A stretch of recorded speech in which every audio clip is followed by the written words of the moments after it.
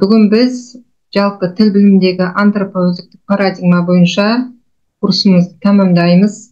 Жалпы бұл курстың негізгі мақсаты тіл арқылы ұлтты тану тіл арқылы адамды тану тіл арқылы жалпы ә, бүгінгі тәрбие мәселесін жүзеге асыру қарастырылған.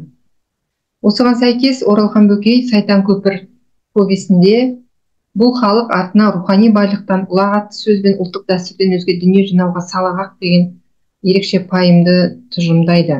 Шын мәнінде бүгінгі ұрпақ қамын біз ойлағанда рухани байлыққа ұлағатты сөз бен ұлттық дәстүрге баса назар аударуымыз қажет.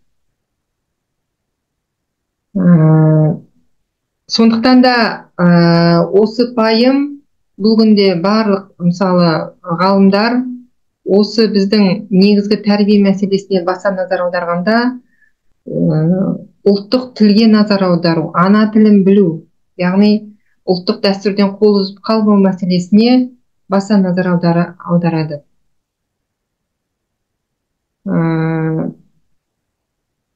Өткен сабағымызда дәрісімізде біз жалпы ә,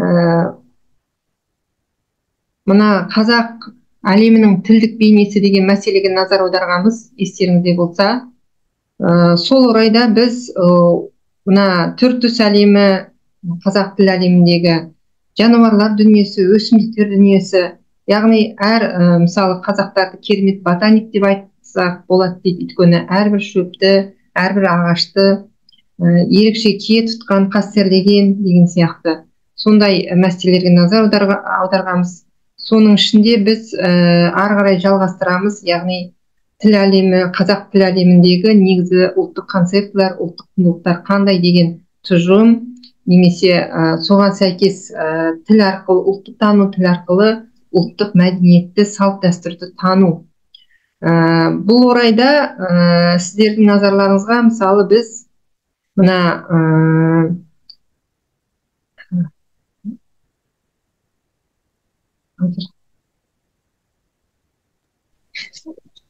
негізгі ою өрнекке назар аударғымыз келіп отыр. Ою, өрнекке құрметті ұстаздар. Енді өткен сабақтарда назар аударсаңыздар біз жалпы мына ә, қазақтардың танымында ою өрнек ерекше орын алады. Өйткені бұл ою өрнек өздеріңіз білесіздер қолөнер туындысы иә? Қолөнер туындысы болғанмен бұл кезіндегі көне ғасырлардан жалғасып келе жатқан ерекше қасиетті өнер. Бұл адамның жалпы дамуына физиологиялық тұрғыдан ақыл ойының дамуына эстетикалық көзқарастарының дүниетанымының дамуына өте керемет әсері бар екен. Сондықтан да бүгінде бұл жанданып келеді ою өрнек мәселесі бұның барлығын мысалы академик әлкей марғұлан бұл дүниетанымның ә, жалпы ұлттың ой толғанысының көрінісі деп көрсетеді. Бұның барлығы құрметті ұстаздар мына халқымыздың осы өзінің қоршаған ортаны тануына байланысты немесе ә, ерекше мына ұрпағына өмірге тағдырға сәттілік пен бақыт ә, тілеу мәселесіне байланысты осындай өнер туындылары дүниеге келеді екен. Яғни бұл бір жағынан сұлулық әлемі өйткені бізді қоршаған әлем өте сұлу табиғат. Сондықтан соны өзінің кішігірім үйінде яғни өзінің ә, кіші ұясында сондай керемет сұлулық әлемін әдемілік әлемін орнату мақсаты көзделген екен. Енді осыған қоса мысалы бұл жалпы гачев мына ой өрнекті бұл әлем құрылымының ырғағы туралы халықтың ойы дейді. Яғни әлем неден тұрады жалпы әлемде гармония қандай соны өзінің тұрмысында қолдану.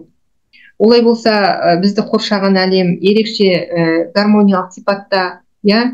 Яғни мысалы аң мен құс ұшқан құспен жүгірген аң немесе жұлдыз ай мен күн бұның барлығы ерекше сұлулықпен ерекше ә, көз тартатын ғажайып әлем деп айтуға болады.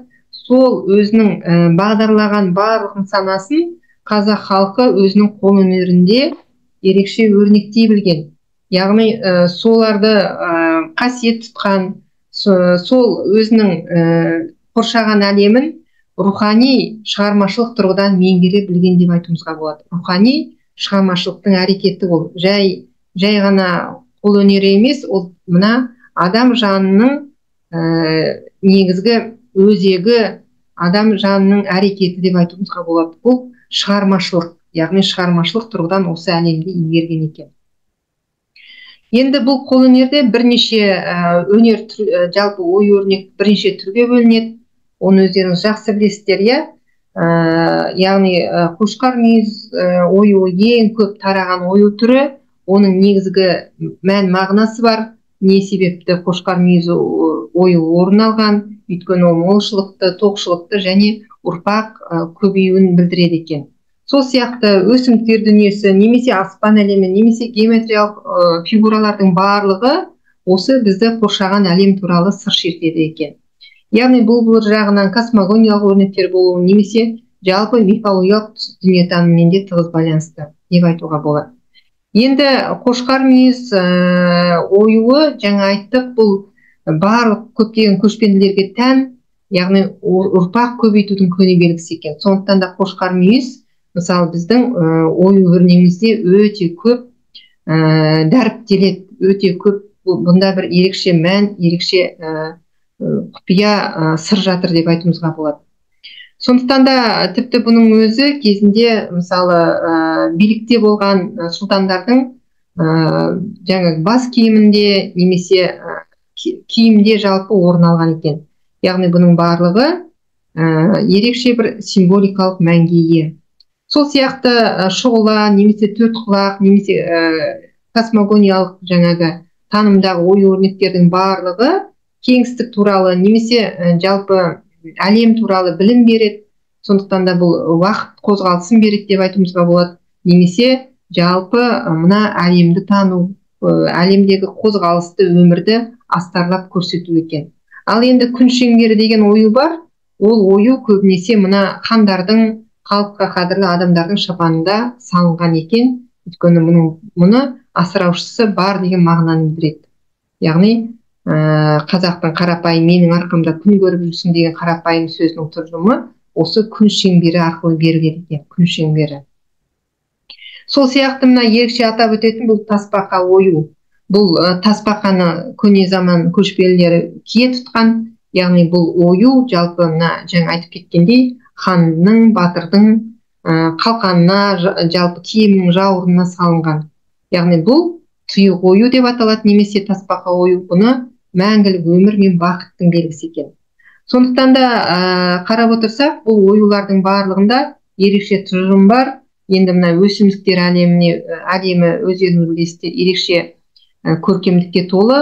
Сондықтан да қазақтың ою өрнегінде жалпы осы ә, гүл ә, жалпы өсімдіктер әсіресе мына гүлдің бейнесі гүлдің суреті бұл шексіз қозғалысты білдірумен қатар жалпы ерекше сұлулықты ә, көрсетеді екен. Енді бұл ә, жалпы өткендегі сабағымызға байланысты мәселелер яғни бұл тіл қазақ тіл әлеміндегі осындай бірнеше микротоптарды қарастырамыз қарастырғанбыз. Өйткені үш үлкен макротоптарды біз қарастырдық. Ә, олар адам қоғам табиғат деген сияқты. Сондықтан да ә, келесі макро, макротоп бұл біздің мәдениетке қатысты болып табылады екен. Енді ә,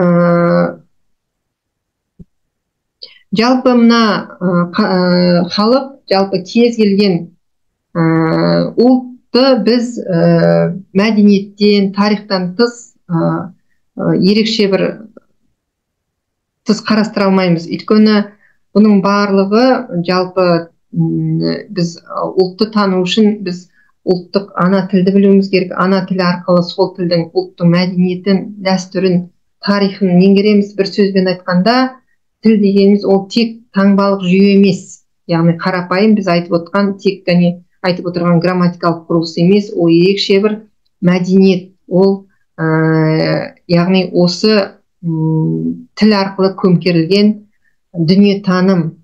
Ерекше ә, сұңғыла пайым парасат деп айтуымызға болады. Сондықтан да әбдуәли қайдар мына мәдениет терминіне өздеріңіз білесіздер бірнеше анықтамасы бар дегенмен біз академик қайдар анықтамасына назар аударсақ бұл мәдениет деген жеке адамның басына тән қасиеттен басталып бүкіл ұлттық менталитетті ғасырлар бойы қалыптасқан ұлттық сана таным салт дәстүр рухани материалдық байлықтың бәрін түгел қамтитын күрделі ұғым екен. Сондықтан да бұл мәдениет ә, жай әншейін ойдан шығарылған нәрсе емес. Бұл бұрыннан бері ата бабамыз қалыптастырып кеткен яғни тәжірибеден өткен ерекше бір құбылыс деп айтуға болады. Яғни бұл ә, ұлтымыздың ерекше күре тамыры. Яғни біз мәдениет арқылы ұрпақты тәрбиелейміз мәдениет арқылы өзіміз өсіп дамимыз және де мәдениет арқылы ұрпақ сабақтастығы жүзеге асады екен. Бұл сондықтан мәдениетті ә, жалпы мәдениет арқылы ә, мәдениет бұл тіл арқылы ерекше көрініс табады. Өйткені тілдегі фразеологизмдер мақал мәтелдер немесе этнографизмдердің барлығы өзіміздің ұлтымыздың ә, ерекше дүниетанымы жаңағы рухани материалдық мәдениет туралы сыр шертеді. Сондықтан да бұның барлығы жаңағы ә, кез келген мәдениет материалдық және рухани мәдениет тілде көрінеді немесе ә, ұлттық мәдениеттің сипаты тілде көрінеді деген сияқты ұлттық рухтың көрінуі оның мәдениетінде немесе Э, жалпы мына тіл адам мен оны қоршаған әлемді жалғастырушы аралық деген түсінікке бара бар келеді екен. Енді ә, жалпы бұның барлығы құрметті ұстаздар өздеріңіз тіліміздегі тілдік деректер ә, көркем мәтіндер арқылы көрініс табады. Сондықтан мектепте оқушыларға этнографизмдерді немесе фразеологизмдерді ә, құрамындағы осылай мәдениеттен сыр шертетін этнографизмдердің мағынасын түсіндіре кеткендеріңіз абзал. Ол кез келген шығармада орын алады. Мысалы қазан иә? Қазан бұл өте қасиетті мүлік. Бұны ә, жаңағы қасиетті жетінің қатарына кіреді. Сондықтан да ә, бұның барлығы мына қазан өздеріңіз білесіздер махамбет өтемісұлы қара қазан сары бала қамышын қылыш сермедік дейді. Яғни бұл қазан деген ұрпақтың жалғасуы отбасы берекесінің символы. Сондықтан да қазанның төңкерілуі бұл ә, төңкертпеу осындай ә, бұл жаман ырымға саналады екен. Енді ә, бұның барлығы жалпы мына ә, өйткені қазан төңкеру аштықтың масқаралаудың белгісі деп түсінілген. Сондықтан да бұл қара қазан деп ә, ерекше қасиетті берекелі қазан деп сипатталады. Өйткені қара қазан жалпы бұл біздің ұрпағымыздың өсіп өнуінің белгісі болып табылады. Ал енді түркістандағы жаңағы қасиетті тайқазан бұл жалпы қазақтың бірлігін ұлттың бірлігін бірегейлікті ынтымақ бірлікті көрсетеді екен. Сондықтан да ә, бұл қазан сөзі мысалы бұл этнографизм болып табылады және де ә, ертегілерден де көрініс табады көркем шығармада да бар. Яғни осы біз өйткені ә, мына бұл қазанмен байланысты бұл этнографизм яғни от ошақ сөздерімен де байланыса түседі сондықтан да мына соған сәйкес отты қастерлеу соған сәйкес ошақты қастерлеу қазақ мәдениетіне орын алған. Өйткені оты өре жанбаса қазандағы ырыс яғни тағам піспейді. Ал, ал егер ә, тағам ә, жаңағы ас әзірленбесе ұрпағымыз өсіп өнбейді деген ой қалыптасқан. Шын мәнінде бұл ә, солай өйткені от бұл үйдің киесі отбасының символы қазандағы ырыстың қамқоршысы. Сондықтан да отқа түкіруге болмайды отты ә, жаңағы оттың күлін басуға болмайды немесе сондай ырым жоралғылардың барлығы тегіннен тегін емес ерекше бір тәжірибеден өткен ә, жаңағы даналық пайымдар деп айтуымызға болады. Енді ә, мына бұның барлығы өздеріңіз білесіздер мына келін түскенде әсіресе от ана май ана жарылқа деп қазақтың ырымында бар. Отқа май тамызу немесе мұны май ана дейді яғни май ана болып дыбысталуы осының барлығы ә, көне түркіде ұмайдың дыбыстық өзірте түскен тұлғасы екен мына май сөзі. Май ана деп айтамыз иә? Яғни бұның барлығы от ана май ана жарылқа деген ә, ерекше осындай салт жоралғылармен тығыз байланысты. Енді ә, қайдаров мысалы ұмай деген бұл мифтік түсінік ә, әйел мифтік түсініктен туындаған дейді. Яғни бұл жалпы нәрестені қорғайтын рух немесе ә, сондай түсінік орын алған. Сондықтан да әсіресе әйел адамға байланысты осындай ұмай сөзі қолданылады.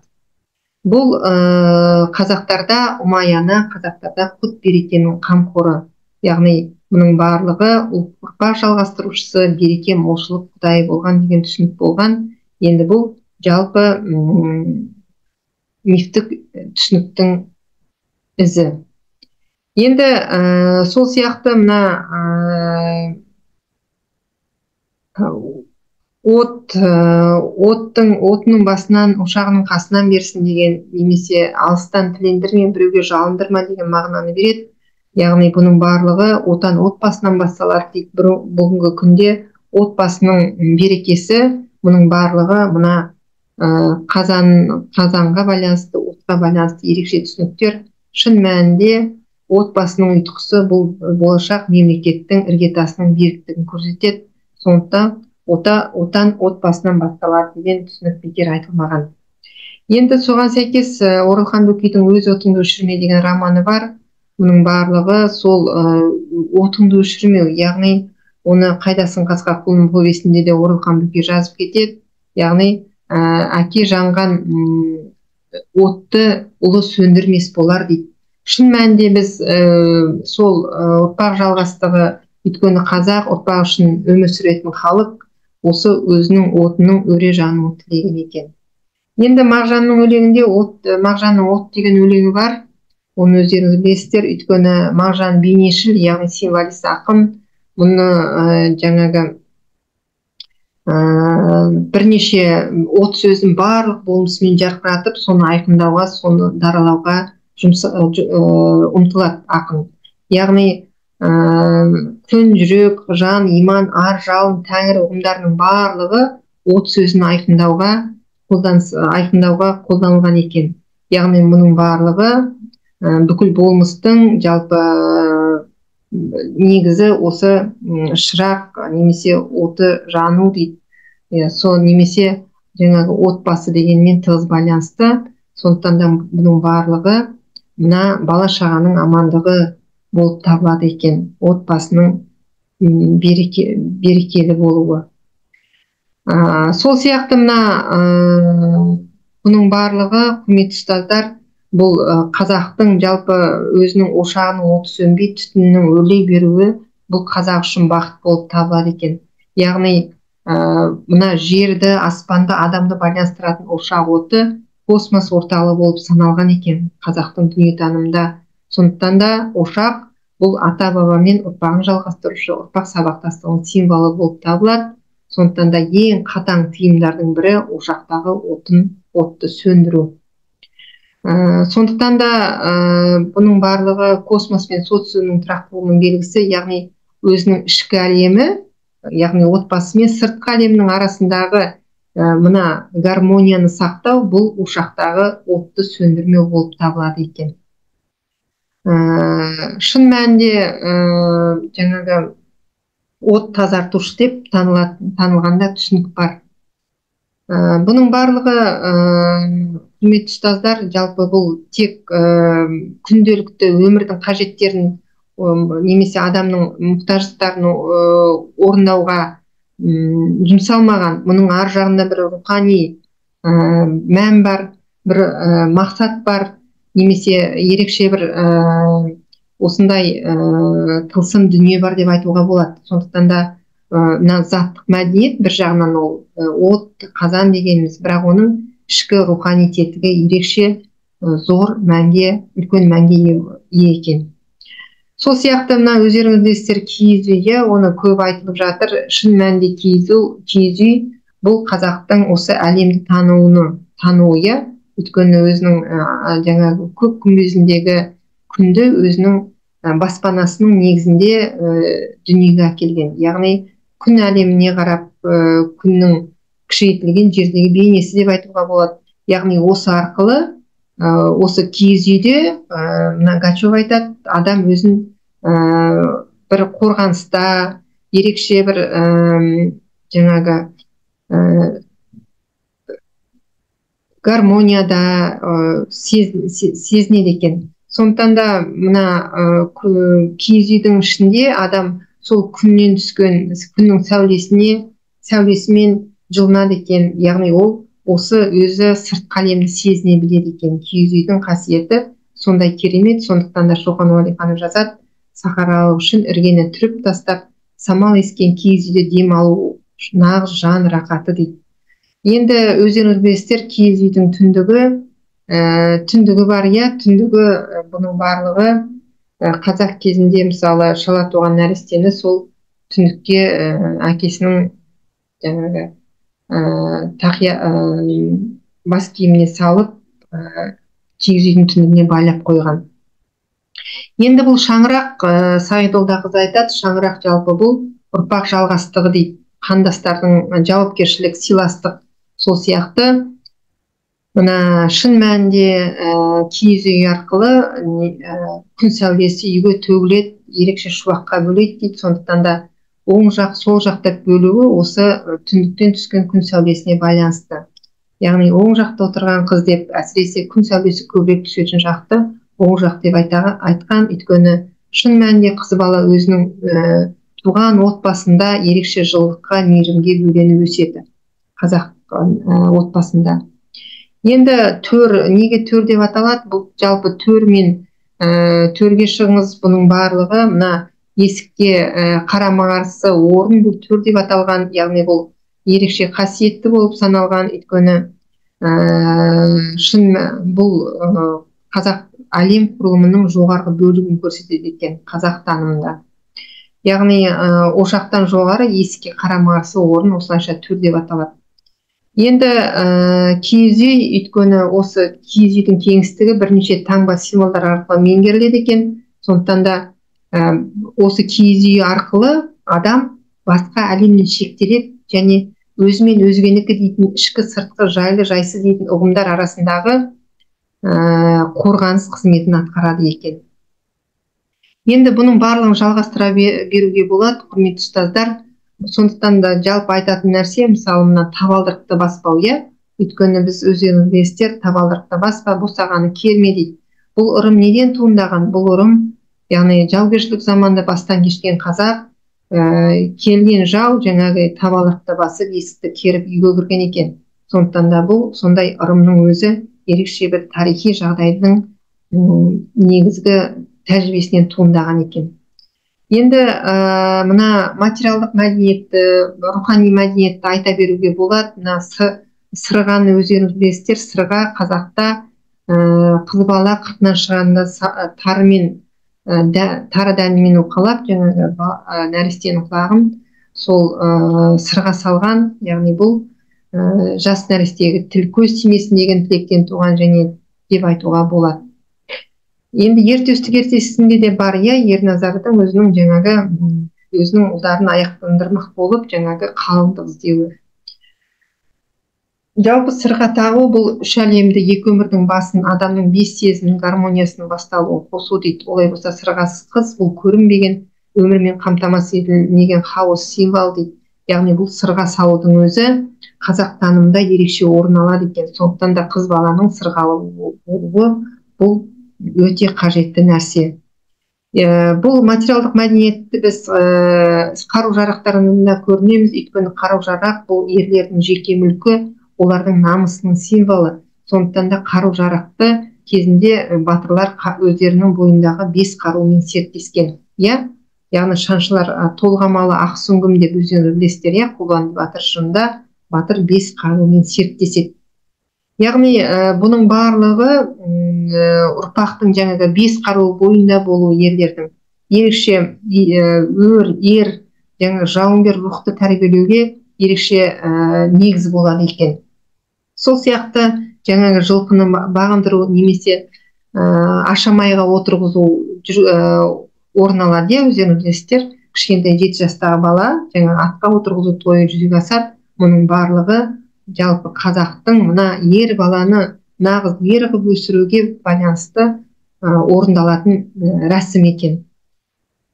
Ә, сондықтан да мұқағали айтады ғой біреулер тұлпар еді дерде мүмкін бүтінделмей кеткен бір ер тұрманы дейді.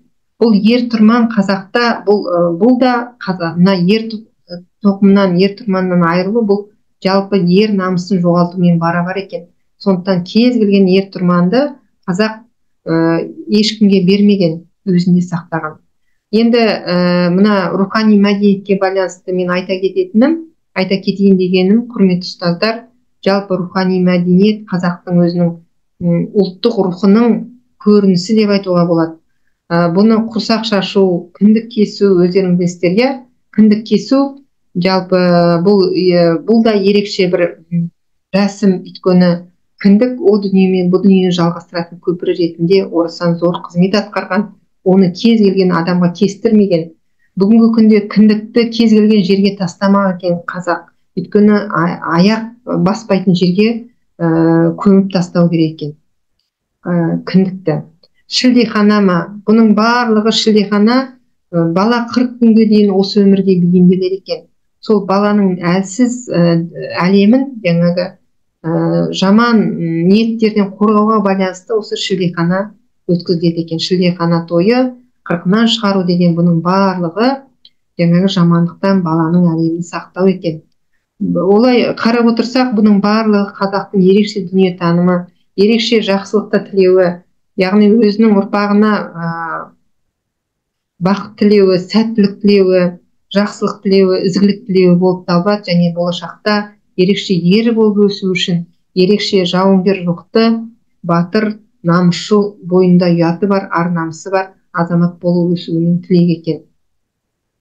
Ә, бүгінгі күнде енді бата иә бата бата шашу яғни біз батасыз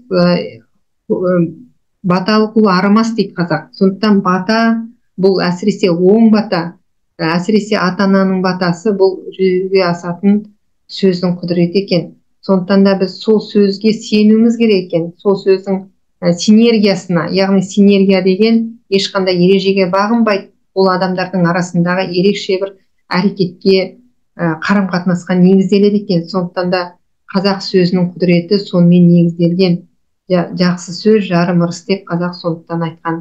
Сүйінші сұрау яғни бұның барлығы қазақтың ә, ерекше бір ақкөңілдігінің көрінісі ал енді беташардың да мысалы келіннің бетін ақпен жабу бұл ә, белгісіз құпия әлемге аяқ басуды білдіреді екен.